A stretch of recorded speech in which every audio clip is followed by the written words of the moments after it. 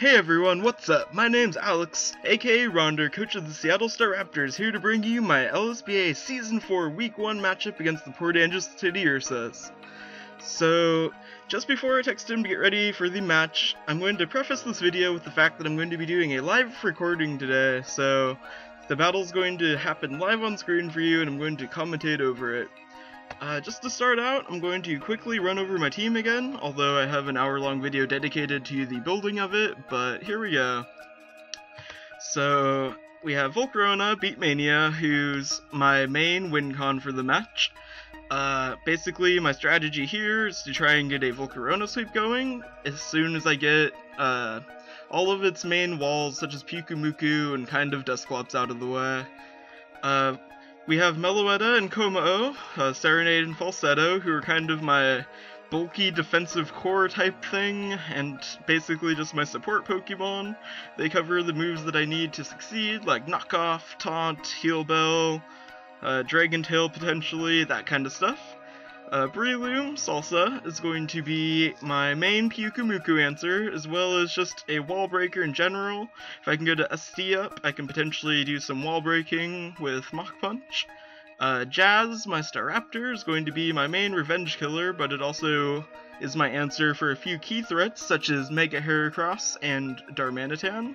And then there's Jirachi, who, uh, let's see, actually needs Choice Scarf as well.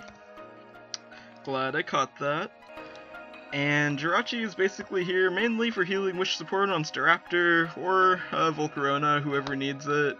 But also with Zen Headbutt can do damage and potentially kill Crobat, and Iron Head for Florges. So that is the team. I'm going to go ahead and text Jacob and get this thing on the road.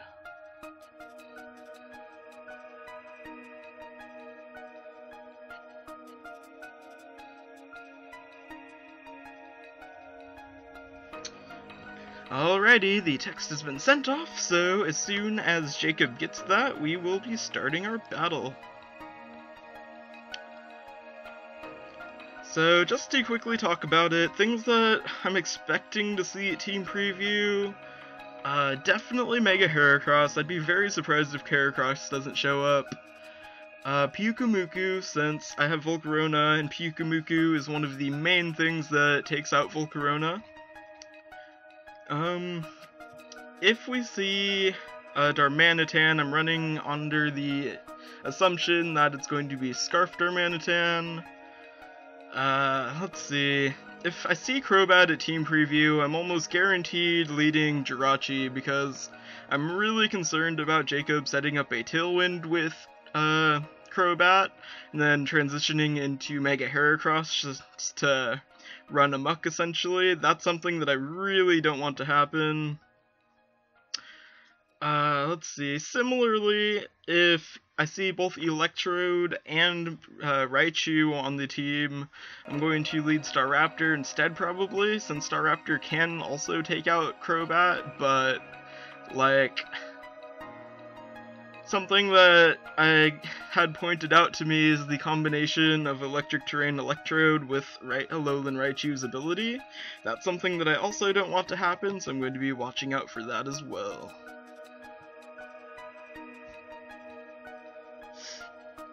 Uh, just waiting, I think he's setting his team to level 50 now. And we are looking for the IGN Bidoofer, although I told him to send me the challenge, so... I think when he's ready in a second here... Oh, here we go. Versus Port Angeles Teddiursa's Week 1. Accept! Uh, your team was... Hmm... Let's see. Hold on. So apparently it doesn't like my Volcarona set to level 50 because it needs to be at least level 59 to be evolved. So I will con message him really quick. Uh, let's see, I guess since Volcarona evolves at level 59, it won't let me do level 50 law there another format? Or maybe just do 100?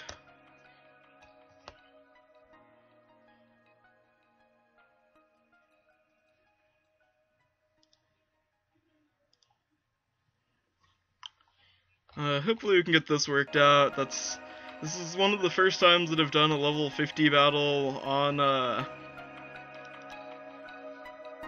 on... Showdown, so yeah. Hopefully we can get this resolved quickly.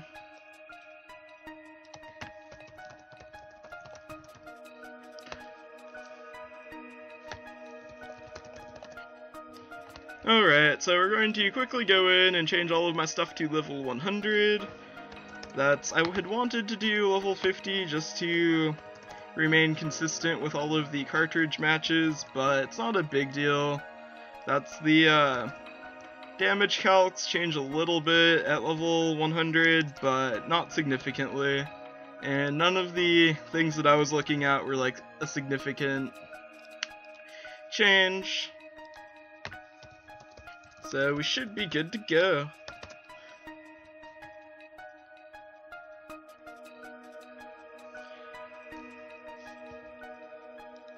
Definitely looking forward to this match though, that's uh, I don't know if I can actually win this one just because Jacob's team defensively covers my team pretty well. That's kind of like I talked about in the team preview, or team preparation video rather. Uh, I have things that theoretically cover all of Jacob's stuff on my team, but like everything's not super well covered, so we'll see how this goes. And now the battle goes through as expected. Alright, so on his team we see Sandslash, Mega Heracross, Pyukumuku, uh, Dusclops, Ditto, and Alolan Raichu.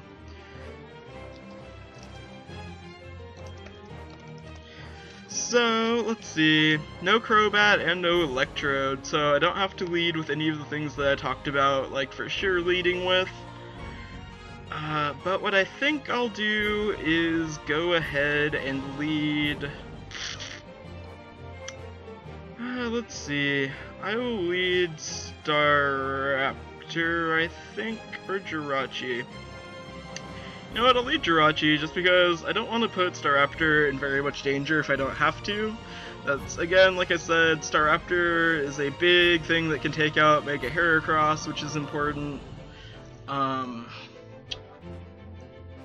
so I'm not going to leave it in in front of Raichu if he throws Raichu out, because I'm half suspecting Raichu to be Scarfed just to deal with Staraptor. However, if I find out that Star Raichu's not Scarfed, by some means, I'm not sure what that would be, then U-turn does a lot to Raichu. Basically, I just don't want Staraptor to take collateral damage if it doesn't have to. Uh, Jirachi, on the other hand, his only job is really supporting Staraptor, kind of.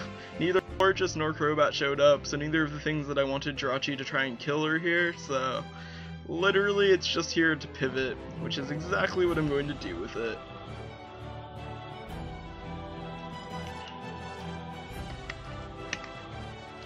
And I have my handy dandy sketchbook next to me, so I'm going to really quickly write down his team.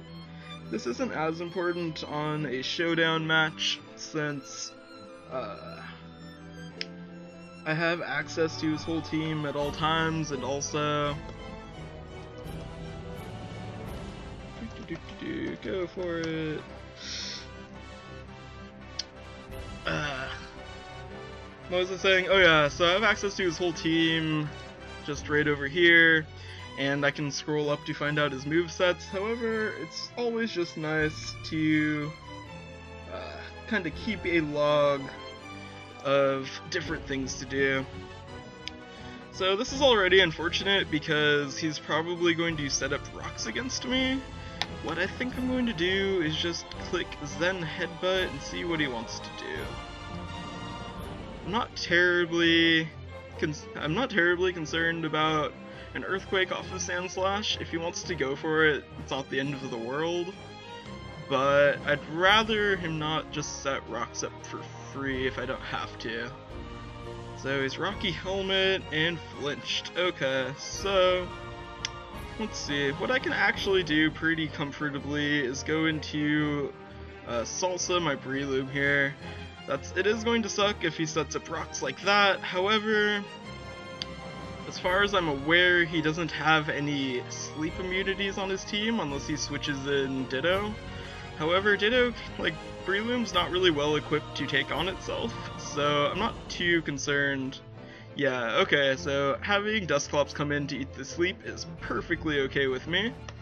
I'm just going to run a quick calc here to see what plus 2 Breloom kind of does to Dusclops.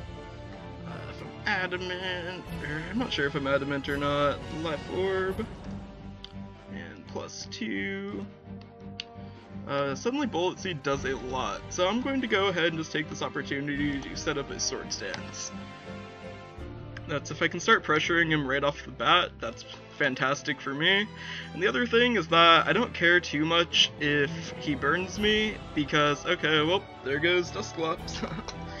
because I have, uh, Meloetta in the back with Heal Bell, that's, yeah, just, uh, the only thing that's concerning here is if he switches in Ditto right now, which he is. However, I'm not terribly concerned. That's I'm pretty sure that like he pretty much has to click Mach Punch, and if he clicks Mach Punch, I can come in and threaten it out with something else. That's do I have other options? Yeah, so I have Toxic on Falsetto now to deal with the Pyukumuku if I need to. I also have Taunt on it. So I'm just going to click Mach Punch. I'm probably going to eat a Mach Punch as well, but that's just the game that we play. Alright, so Dusclops, Breloom killed. He has Ditto. And he has... Oh, there goes Breloom. But again, now that he is locked into Mach Punch, I can... Let's see, what are my options? My options here are Falsetto. Let's see how much... Uh, Kommo takes from Breloom at plus 2. Mach Punch does a lot, but it doesn't do that much. So what I'm going to do is I'm going to go into him or Polka.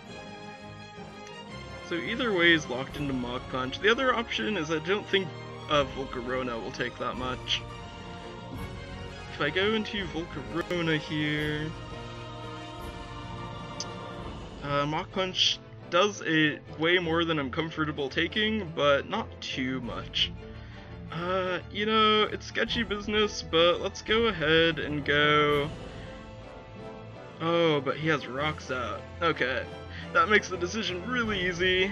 It has to be, uh, Dragon Tail here. Let's pray that I don't miss. Otherwise, bad news for uh, my whole team pretty much. That's I should have considered before setting up with Breloom that my strategy here is hinging on Volcarona kind of coming in to deal with it, so yeah, we'll see how this turns out. That may have been a fatal mistake already.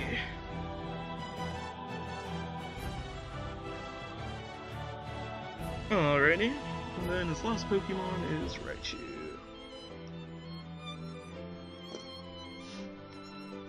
If I had considered the Sandslash lead, which now I'll think about next time that we face off, I could have just led with Kommo-o and taunted it to stop that, but okay, so he's just going to go ahead and switch out his uh, Ditto, which is perfectly fine with us.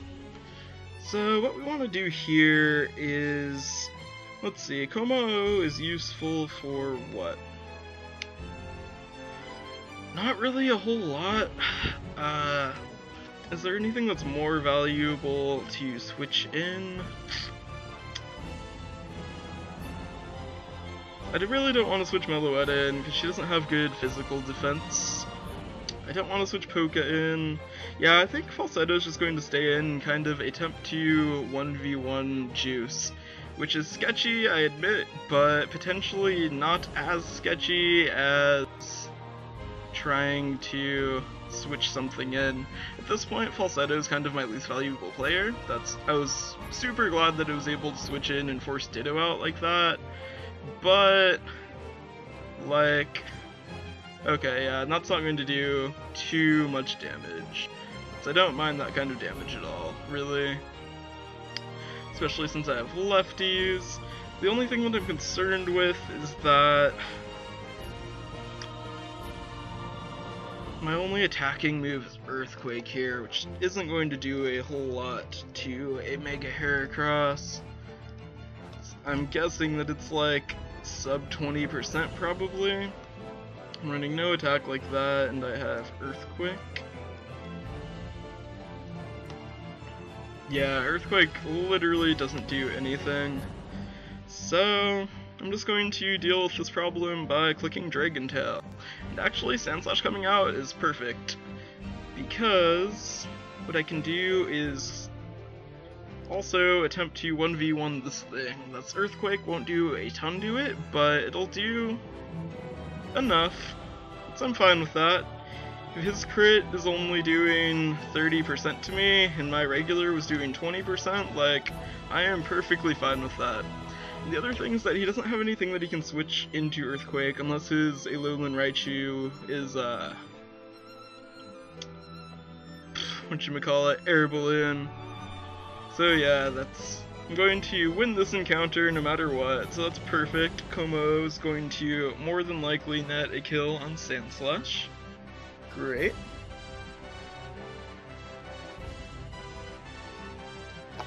And interestingly, he's going to switch in Kommo. Maybe he doesn't realize that my Kommo is like a full support build, kind of, but uh, again, this is something that Jazz can come in and easily force out, so I don't really know what the angle is here, I'm just going to click Dragon Tail. He's going to click Dragon Tail as well, so that is perfectly fun. So here I have to consider the fact that um, Dragon Tail has negative priority, so that's really nice actually. I could come in and potentially knock off what that would do is remove the scarf from this thing so that one of my two other scarfers, like regardless of what he comes in to copy, can outspeed it suddenly. Like for example now, if I did that and he copied Volcarona, uh, since Jazz has the same base speed, I could just come in and outspeed it. Or if he switches out to anything else, that's honestly fun too. Or I could go into Polka and click Zen Headbutt. That doesn't feel so good though, just because... Just because... Uh, let's see. The other thing is that I got to remember to keep options open for Pyukumuku. Pyukumuku is suddenly a extreme threat actually, just because I lost both of my answers to it kinda, which probably wasn't that smart, but we're just going to have to deal. I think what I'll go ahead and do is swap in Polka here.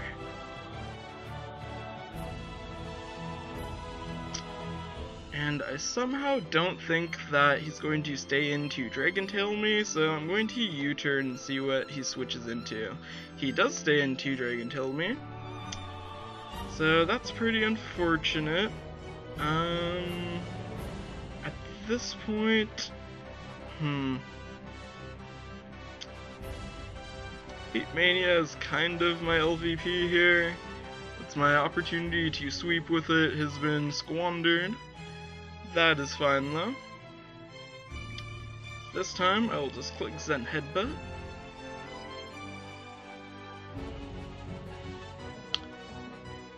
Now, I would assume that he probably switches out here, but I honestly can't have him just shuffling through my entire team for free.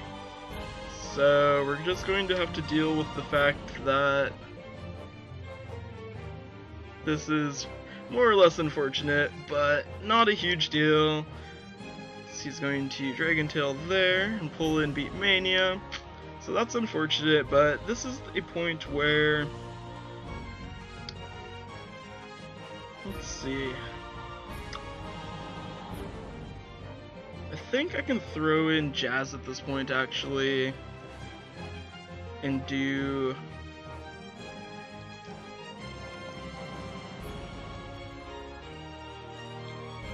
uh, what was it? I think I can throw in Jazz and actually click. Hmm.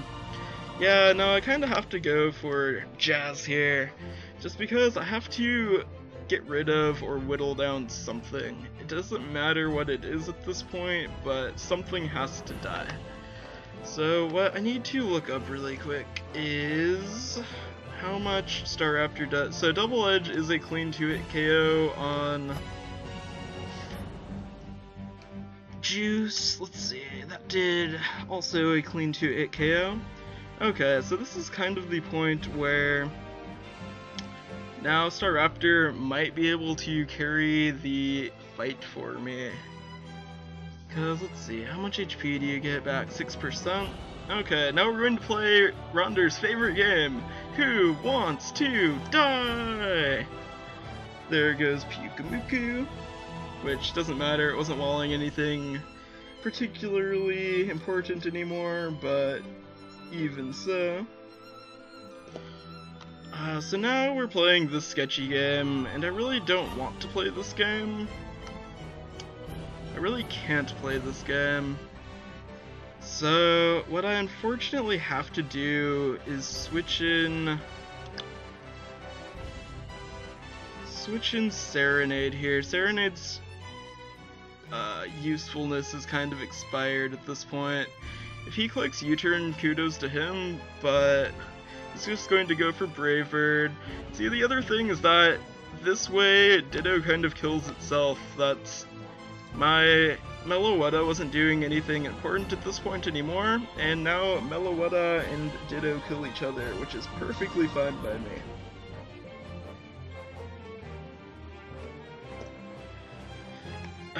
Let's see. The main concerning thing here is the Alolan Raichu. If the Alolan Raichu is scarfed, then... Then we got issues.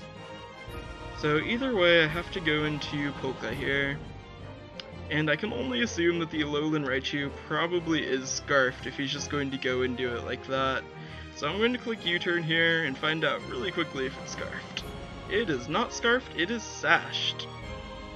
Uh, oh no. Okay, but this is kind of okay.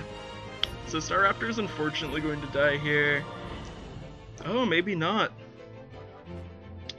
Ooh, Okay, so I'm 99% sure that Raichu is not Scarf, so I'm going to click U-turn here, kill the Raichu. Ah, uh, Jacob got greedy. Jacob got greedy and he's going to lose because of it. I am sorry, Jacob, but here's where I click Healing Wish and kill myself in true Polka fashion. She has healing magic, but she is cursed to die at a young age. Thank God for Healing Wish. GG, Jacob. That was way too close for comfort.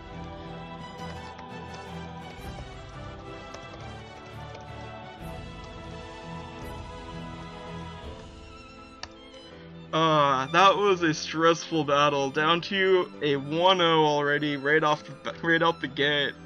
So I almost had a mini heart attack there because I forgot if Healing Wish healed before you eat uh, entry hazard damage or not.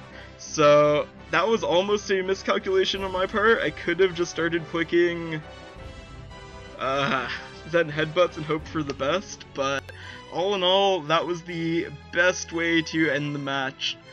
That's I honestly gotta say that if Alolan Raichu was scarfed instead, I don't know if I could have won that match at that point, but uh, GG Jacob, that was an incredibly close match, and I can't wait to replay you later in the season. Uh, okay, so that's going to wrap up this week one battle. Hope you guys all stick uh, stand by for my week two match next week against uh, another of my division rivals, Josh, coach of the Galapagos Garchomps.